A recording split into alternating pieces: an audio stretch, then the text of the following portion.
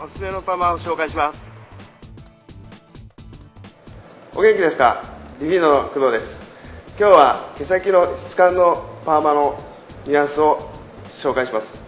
それでは施術に入ります。行ってみよ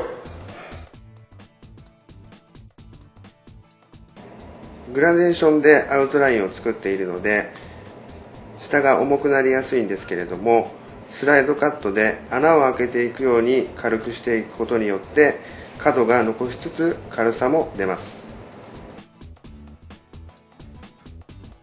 PPT 配合のローションを塗布し中間と毛先を均一な状態に整えます。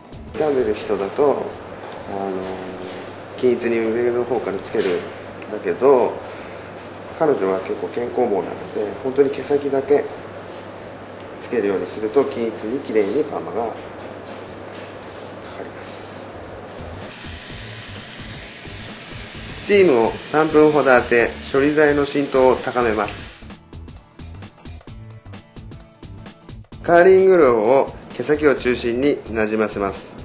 短時間にカールを出せるようにつけます。彼女は、えっと、髪も傷んでないのであのカーリング量をしっかり多めにつけて巻いていきます。毛先巻きで巻いていくんですが毛先をあんまし真ん中に寄せすぎずに、えっと、結構幅広に取っていくことによってあのこのフラットウェーブが均一にきれいにかかっていきます。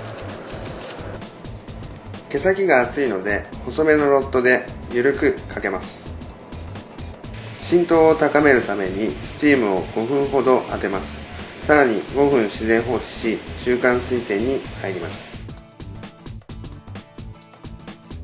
中間水栓で、えっと、三輪数を使います。それで三輪数を使うことによって、えっと、パーマ液の後の匂いが取れたりとかパーマの持ちに影響をしてくるのでしっかり中間水栓をしていきます。中和をして3分経ってテストカールをしたところです。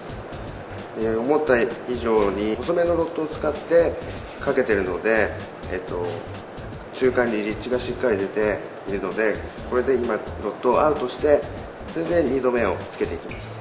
2剤をつけて、えっと、揉み込むことによって仕上がりのイメージをつけます。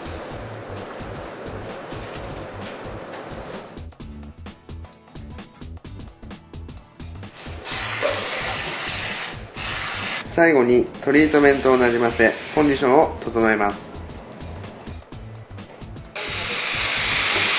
よし。スチームを当ててお流しをしたら終了です。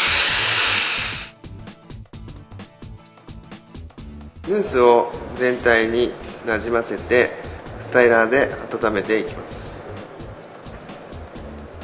自宅では自然乾燥でスタイリングします。